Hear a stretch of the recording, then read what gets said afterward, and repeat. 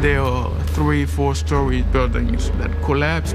They haven't even touched yet. The president said they would need a thousand high capacity trucks working 24 hours a day, seven days a week to remove those wobbles within three years.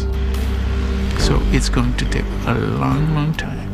As human beings, they deserve a better existence than this. They didn't bring the earthquake on themselves. It was an act of nature. And as such, all of us who live better lives should help these people. As the Jewish community would say, tikkun olam, to repair the world. This is a country that needs assistance. We have a window of opportunity. If we sit at home now, the reality in 10 years' time may be horrific. This is the time to do it. Now, within the first several years after the earthquake, not later. CBS presents Haiti, Religion's Response to Disaster. The narrator is Rollin Smith. For decades, this poverty-stricken nation has been plagued by government corruption, civil unrest, and natural disasters. Adding to the country's woes, a catastrophic earthquake in January that was called biblical in scale. It's estimated that 300,000 people were killed and another 200,000 injured. Many of those injured now live with permanent disabilities. The recent reports of cholera is a devastating setback to a country struggling to recover. Since that fateful day in January, it doesn't look like much has changed within the capital of Port-au-Prince. Most of the city is still in ruins. It's a very difficult situation, more difficult than we faced any place else in the world we operated. Even the tsunami in South Asia was a better situation. I met with a representative of the U.S. Embassy when I was there, and she said to me that before the earthquake, only 40% of the garbage in the city was picked up. And now, after the earthquake, none of the garbage in the city is picked up. And the situation five and six months after the earthquake, and now we're a year, was almost like the days of the earthquake. Since the devastating earthquake in Haiti in January, faith groups from around the world are doing what they can to help the country recover. The Jewish Joint Distribution Committee, or JDC, has provided clean water, shelter, and medical aid to thousands of displaced Haitians. But one of their most successful endeavors is renovating and updating the rehabilitation unit at Haiti's University Hospital. What we discovered was there were no facilities to create modern prosthesis. There were no facilities to help people do physical rehabilitation to use the prosthesis. And even there were no facilities to repair wheelchairs or walkers or crutches. And uh, given that, unfortunately, our Israeli colleagues have lots of experience in these issues, we created a partnership. We brought in some Americans, we brought in some Israelis, we partnered with the largest government hospital in Port-au-Prince. When we arrived in General Hospital, it was in dire straits. The first place that I looked was the rehab uh, unit to see what was happening there, and what we saw were long lines with no staff. You have to be careful because we're not coming in to take over a rehab unit. We're coming to make that rehab unit sustainable long after we're gone. For JDC, providing expert medical teams in Haiti is one small way to repay the help that they received during the Holocaust. In the 1930s, Haiti opened its doors and offered sanctuary to Jewish refugees from Central Europe.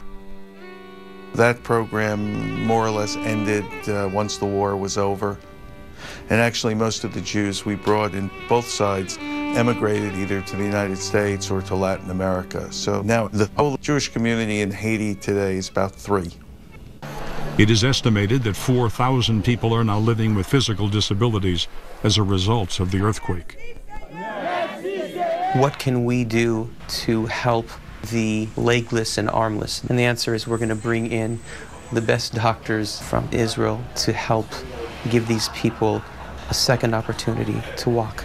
So when a certain doctor would look at an amputee and say they will never walk again and this mother will never embrace her child again, the Israeli doctor walks in and says, four to six weeks, they'll be up on their feet again. With the help of the Haitian Red Cross, the Israeli Red Cross, and Sheba Medical Center in Israel, JDC is able to provide expert medical care for earthquake victims. The lines continue at the hospital, but now it is fully staffed. Six rehab techs, rotating doctors from Israel, and an ongoing training session for local staff in that hospital. There is also a clinic for those newly fitted with prosthesis. They have allowed JDC to inaugurate a fully functional A to Z self contained rehab process that begins with preparation of the limb, fitting of the prosthetic, and full rehab until these amputees go from wheelchair, crutches, one crutch, fully independent, walking, playing soccer, dancing, doing what they were doing before the earthquake when they thought that they could never do that again. Oscar is 23 years old, studying economics, and was on the second story of a five story building when the earthquake hit. He made a run for the stairwell and it collapsed. Um, ran back to the other side of the classroom, and as he did that, this, the uh, floor caved in and the whole structure pancaked. He was left on the external wall, standing on a type of balcony, and he jumped off that balcony and survived the fall. And when he stood up, he realized that all 54 of his classmates were under the rubble. Most had been crushed to death. And it was at that moment that a supporting pillar fell on uh, Oscar's leg, and there he remained until the following morning. So by the time his father was able to rescue him, his leg needed to be amputated. Oscar's dream was to follow in the footsteps of Bill Gates, to use wealth to impact positive change in the world. And he had a lot of time to think about what this was going to mean because he had about 12 hours underneath the rubble.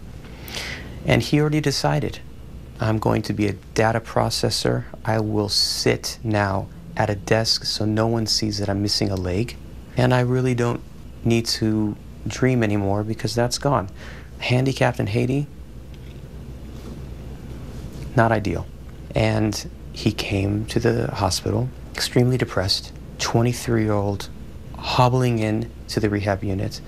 And I happened to be there. Spoke with Oscar. I learned that he was on the national soccer team of Haiti only a year before, had played in the championships and now uh, was sure that no matter what we tell him, he will never be able to walk again. So we proved him wrong. His recuperation was nothing short of heroic. The doctors in Israel and Haiti had never seen anything like Oscar before. Someone that went from hopelessness to hopefulness in a matter of two days. Today he's back playing soccer. The fitting process for the prosthetic as well as the rehab is very challenging. And that's what's so magnificent about him.